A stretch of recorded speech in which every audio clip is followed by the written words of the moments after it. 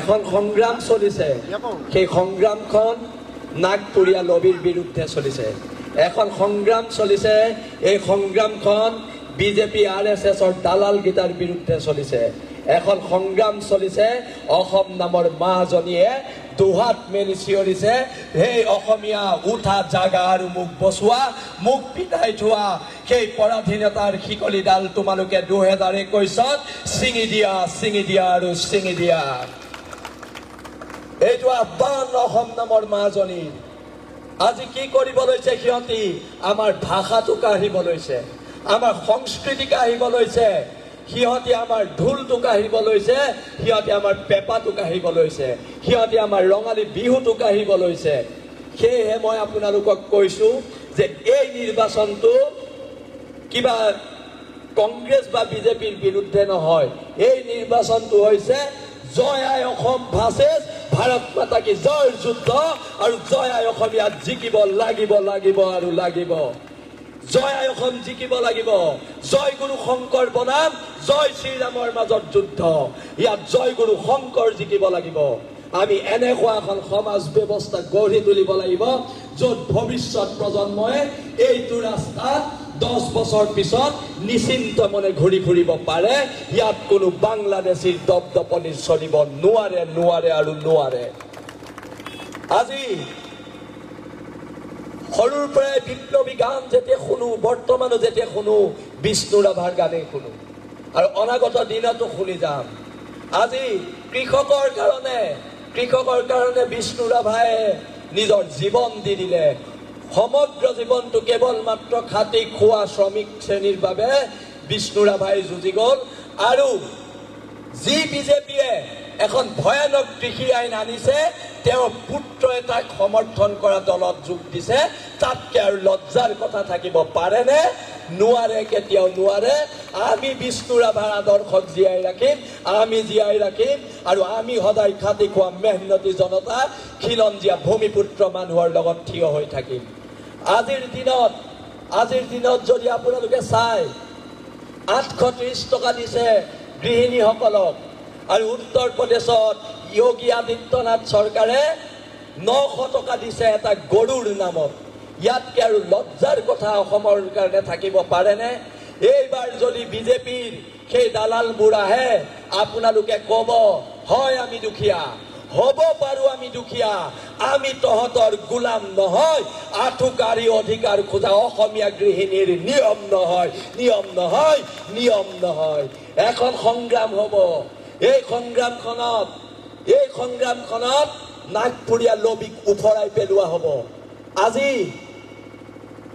দুবছৰ আগতে সিহঁতে কি কৰিছে গম পায় শিৱসাগৰৰ ৰংঘৰ আৰু কাৰেংঘৰ। যিটো আমাৰ শিৱসাগৰৰ স্বাভিমান হয় সমগ্ৰ অসমৰ স্বাভিমান হয় ৰংঘৰ কাৰেংঘৰটো গুজৰাটী কোম্পানী এটাক বিক্ৰী কৰি দিব লৈছিলে লিজত দিব লৈছিলে। তেতিয়া লগে লগে গৈ বীৰ লাচিত সেনা অসম তাত ৰখিলে আৰু আমি তেতিয়া ক'লো খবৰদাৰ আমাৰ বস্তুত হাত দিব নোৱাৰিবি নোৱাৰিবি আৰু নোৱাৰিবি। এই পৰ্যায়ত সিহঁতি কৰিছে আমাৰ ৰংঘৰ কাৰেংঘৰটো বিকি দিবলৈ লৈছে। তাতকৈ আৰু ভয়ানক কথা হ'ব পাৰেনে? লোকপ্ৰিয় গোপীনাথ বৰদলৈ বিমান বন্দৰটো আদানীক লিজত দি দিলে। এই পৰ্যায়ত গুণ্ডামী হৈছে। কালি শিৱসাগৰত মিটিং কৰি আছো। বিজেপিৰ কৰ্মীয়ে আমাক বাধা দিবলৈ আহিছে। তেতিয়া মই সেই বিজেপি কৰ্মীকেইটাক কৈছো আমি আধা জীৱন জেলতে থাকিলো। তহঁতৰ নিচিনা কা পুৰুষলে আমি ভয় নকৰো নকৰো আৰু নকৰো। সংগ্ৰাম অব্যাহত থাকিব। এখন সংগ্ৰাম কৰিছো। আমি এখন এনেকুৱা এখন সংগ্ৰাম কৰিছো যিখন সংগ্ৰামত বিজেপিয়ে অখিল গগৈক মাওবাদী উপাধি দিছে শৃংখল চলিহাক ৰাষ্ট্ৰদ্ৰোহী উপাধি দিছে। কিন্তু সৰ্বানন্দ সোণোৱাল হিমন্ত বিশ্ব শৰ্মা তোমালোকৰ চাৰ্টিফিকেট আমাক নালাগে। আমাক চাৰ্টিফিকেট যদি দিব লাগে অসমৰ জনগণৰ চাৰ্টিফিকেট লাগিব। তোমালোকৰ চাৰ্টিফিকেট আমাৰ দৰকাৰ নাই। সেয়েহে দেশ আৰু জাতিৰ স্বাৰ্থত অসম নামৰ মাজনীক বচোৱাৰ স্বাৰ্থত নিজৰ ভাষাটোক বচোৱাৰ স্বাৰ্থত আমাৰ সভ্যতা সংস্কৃতি বচোৱাৰ স্বাৰ্থত অলকনাথ ডাঙৰীয়াক মাইকৰ চিনত ভোট দিবলৈ মই বিনম্ৰ অনুৰোধ জনাইছোঁ। আমি শিৱসাগৰৰ পৰা আহিছোঁ আপোনালোকক কেৱল মাত্ৰ আমি অনুৰোধহে জনাব পাৰিম। আৰু আমি ভাবিছোঁ আপোনালোকে অলকনাথ ডাঙৰীয়াক জিকাব আৰু বিষ্ণুপ্ৰসাদ ৰাভাৰ যিখিনি সপোন তেজপুৰীয়াবাসীৰ যিখিনি সপোন সেইখিনি বাস্তৱত পূৰা কৰিব লাগিব। বাস্তৱত পূৰা কৰিব লাগিব। আজি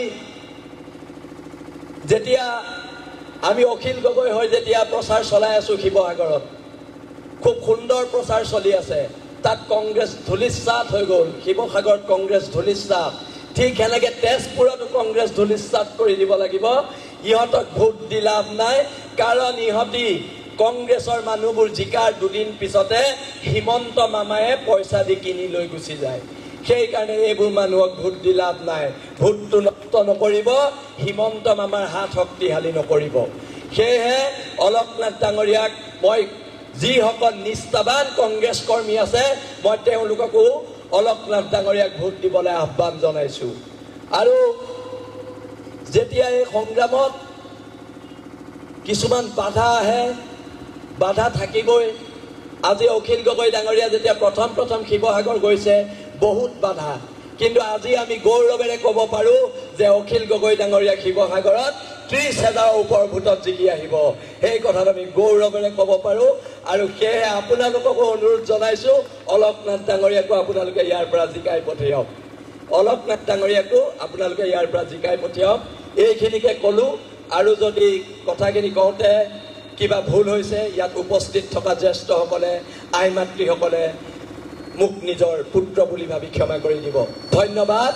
জয় অসম। জয় অসম। জয় অসম। ধন্যবাদ। ধন্যবাদ।